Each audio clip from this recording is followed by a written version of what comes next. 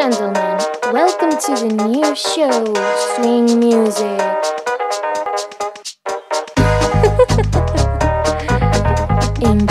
Enjoy.